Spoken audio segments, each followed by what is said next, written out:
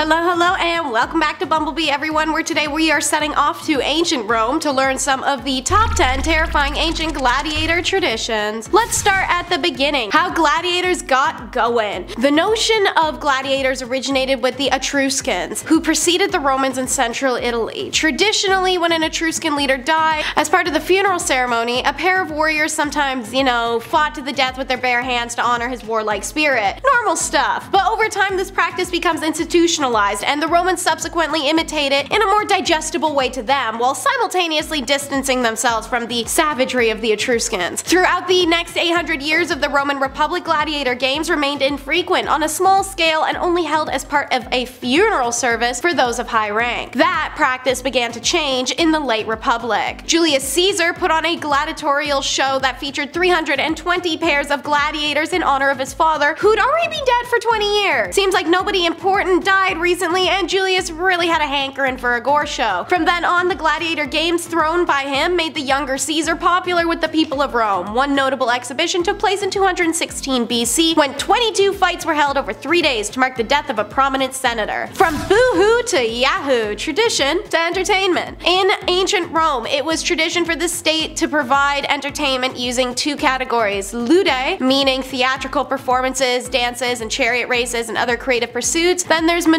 or spectacles such as wild animal shows, death sentences, and other unusual exhibitions. The Romans' concept of entertainment was that most of these events had a religious component, held on religious days, accompanied by prayers and sacrifices, a way of paying homage to the gods. As mentioned, gladiators started out as a weird funerary rite, and Julius segues them into the everyday by having a big melee, so now boom, they're suddenly part of an era. There is scholarly debate if this is truly from public demand alone or if the gladiatorial games being used as distractions that kept the people subdued so they were just hardcore promoted in the village. Some argued that the game reflected the typical Roman virtues such as courage, endurance, and martial skill, while others, like Roman satirist Juvenal, thought that the games preyed on the Roman unhealthy obsessions with bread and circuses, aka blood sport. In Rome, death sentences and ritual killings were a way of keeping the peace and showing the Romans who boss was. The arena was the next step, an advancement in societal distraction used to entertain the lower class citizens of Rome, but at the same time time uniting them together in an uphold of societal rules. I Think this is horrific? May I turn your attention to rugby, hockey, and basketball, three sports notorious for hardcore hits and the spilling of blood. Think of audience, rea audience reaction when a fight breaks out, when a tooth goes flying, when someone lands a dirty hit. Yeah, not so archaic, is it? Thank God though, because it all came at the price of celebrity status. And yeah, it's still a price if your social rank remains that of a gutter rat. Your reminder that gladiators, no matter how esteemed, were lumped into the social ladder with working girls and heretics. Though often dismissed as uncivilized brutes by Roman historians and aristocracy, traditionally the gladiators won massive fame amongst the lower classes. So much that a name was coined for their ancient fangirl gaggles, ludiae, or training school girls, coined by Juvenal once again. Gladiator portraits graced the walls of many public places. Children played with gladiator action figures made of clay, and the most successful of fighters even endorsed products like today's app. Many women wore jewelry glazed in their blood and mixed some of their sweat into some of their cosmetics. I'll dare any one of you guys watching to walk onto an NBA court and try and get some LeBron sweat for your next face mask. We know that gladiators were private citizens with a life sentence, people overwhelmed by debt, criminals, and occasionally free men attracted to the arena by promises of riches and honors. They never lost their community connections though when becoming a gladiator, and those who managed to make a killing at it, pun intended, have been documented to heavily give back to communities they came from, free enslaved individuals, and support the economy. One of the ways they could do that was brotherhoods. Because anyone who wasn't nobility had a pretty good sense as to what the Roman day to day was like, so they knew if everyone was already against them, their class, and had no intention to raise them above said stereotype, then howdy doody they'll just support their own lives and economies while the royal ladies fetishize them and the royal kids admire them. Yes, regularly they would be throwing down in life or death combat against one another,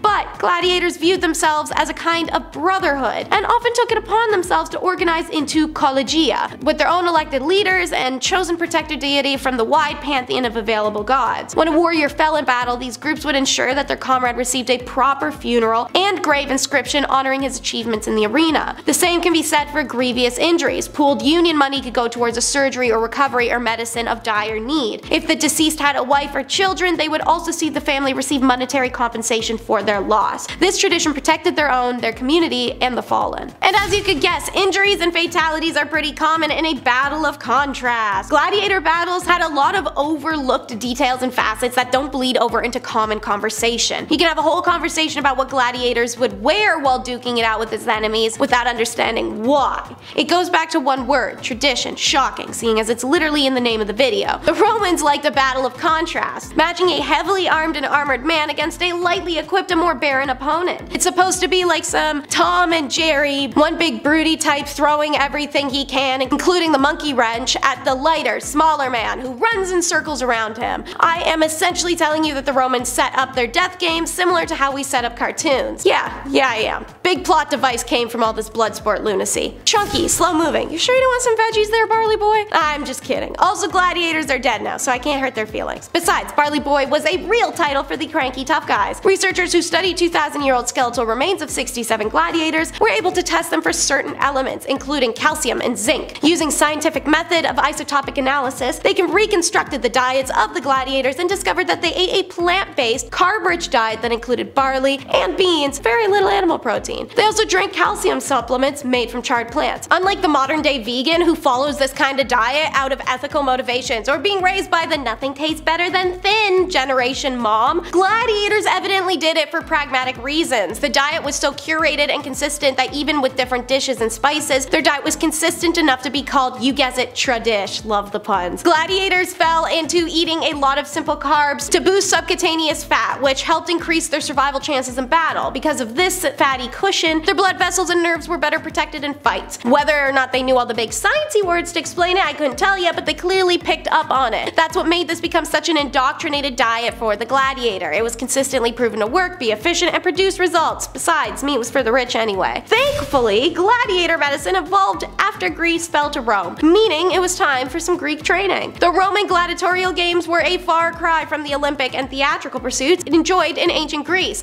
but the Greeks played an important role in preparing gladiators for their violent contests. After their incorporation into the Roman Empire, the ancient Greeks quickly carved out a little niche for themselves in a multitude of professions. Greek philosophers were employed to educate the sons of wealthy Roman aristocrats, merchants took advantage of the Pax Romana to sell their goods far and wide, and the chefs and bakers got to really blow some sandals off. For Greek athletes and physicians, Roman rule offered other opportunities. Gladiators, who required training and medical care, and the Greeks had the requisite skills to provide them. Their role might have been similar to that of a strength and conditioning coach employed to help modern athletes today. By this time, the ancient Greeks had spent centuries refining their strength and conditioning practices for the Olympics and other games, so the Greek trainers were perfect for this role. They understood kinesiology, diet, regime, all the things that gladiators had been lacking before them. The most comprehensive primary source on gladiator medical care comes from Galen, a Greek physician, surgeon, and philosopher who in 167 AD returned to his native city of Pergamon to work as a physician to the gladiators of the High Priest of Asia. According to the historian of medicine, Vivian Nutton, only two gladiators died when Galen was operating in Pergamon, whereas 60 had been killed in the tenure of his predecessor. Galen's experience treating wounds and sometimes dying gladiators provided opportunities for medical discoveries. He disproved Aristotle's assertion that the heart was the seat of the reason by observing a, a dying gladiator who sustained mortal wounds to the heart remained lucid until death. And while having a robust body may save your life, a pretty face sells the case. There were several types of gladiators, the distinctions based on the type of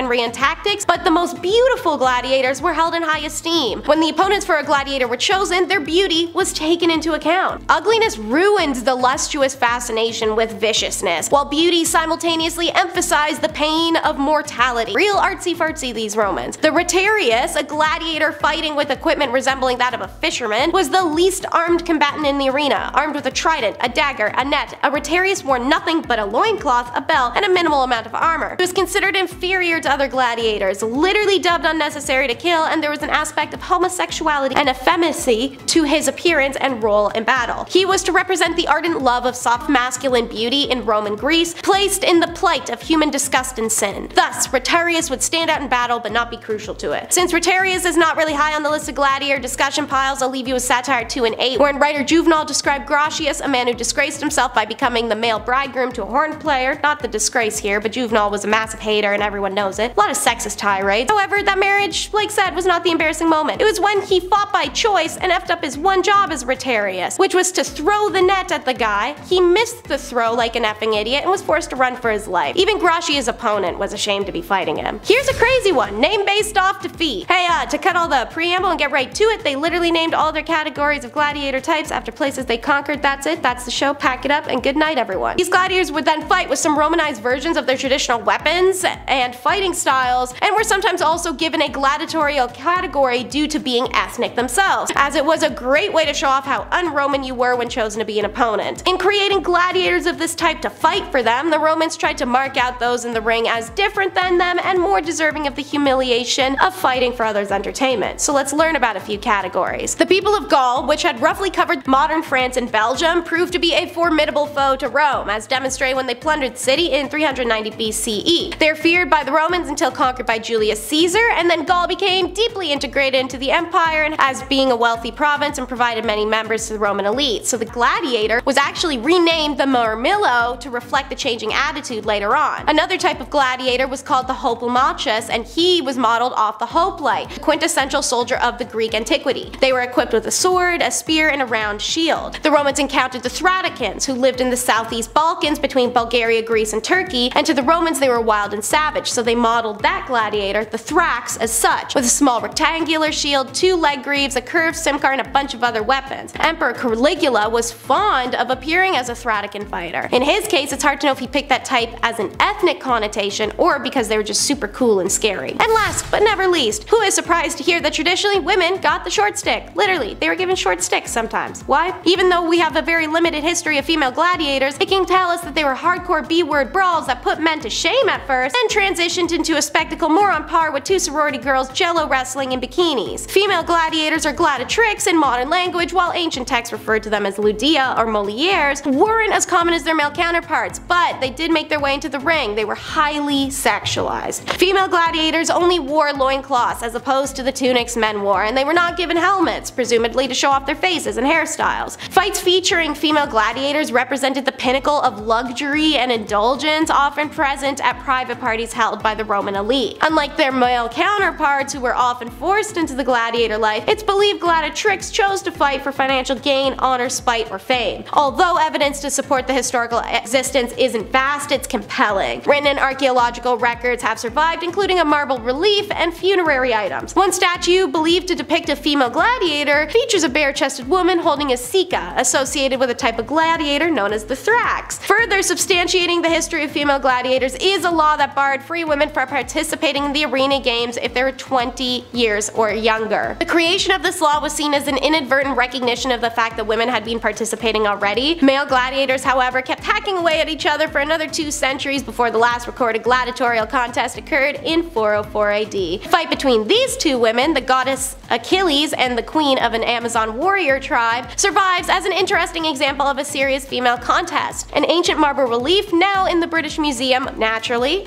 shows these two women fought well and respectively and were both granted their freedom at the end of it. Alright, alright, looks like you and I are both being granted our freedom now because this video is over. I, show, I sure hope you enjoyed and be sure to like and subscribe and comment down below what areas of history we should expand more into. Maybe it's Inca warriors or samurais or underground assassins from India. Surprise me.